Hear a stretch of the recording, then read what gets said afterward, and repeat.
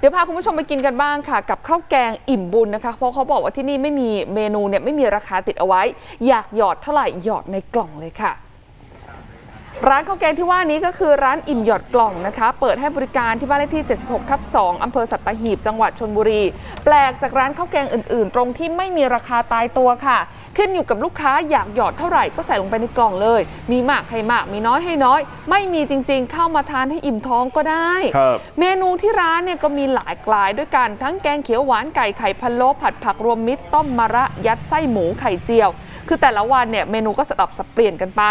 เจ้าของร้านก็คือคุณสุพรชัยนะคะเล่าให้ฟังว่าก่อนหน้านี้ก็เคยเปิดโรงงานทำธุรกิจเกี่ยวกับจิวเวลรี่นี่แหละครับแต่ประสบปัญหาด้านเศรษฐกิจ พอมาเจอวิกฤตโควิด -19 อีกก็เลยตัดสินใจปิดกิจการ หันมาเปิดร้านข้าวแกงหยอดกล่องขึ้น เพื่อจะได้ช่วยเหลือคนตกงาน ไม่มีงานทำแล้วก็ยึดหลักคำสอนของในหลวงรัชกาลที่ 9 นะคะ อยู่แบบพอเพียงช่วยเหลือสังคมนะ แล้วก็บางคนไม่ได้มาทานอยากร่วมบุญ เอาของสดมาแจกจ่ายให้ก็มีนะมันถือว่าเป็นการร่วมบุญกัน นอกจากนี้เงินที่เหลือจากการซื้อวัตถุดิบประกอบอาหารเนี่ยทางครอบครัวก็จะนำทั้งหมดเนี่ยไปทำบุญตามสถานที่ต่างๆ เป็นการต่อบุญกันต่อไปเนาะครับใครสนใจไปกันได้ค่ะ ร้านอิ่มหยอดกล่องอยู่ที่บ้านเลขที่ 76ทับ2อำเภอสัตหีบจังหวัดชนบุรีค่ะครับถ้ามีเงินก็ช่วยกันหยอดหน่อยนะครับใช่แต่ถ้าไม่มีก็ทานฟรีไม่ว่ากันนะครับค่ะ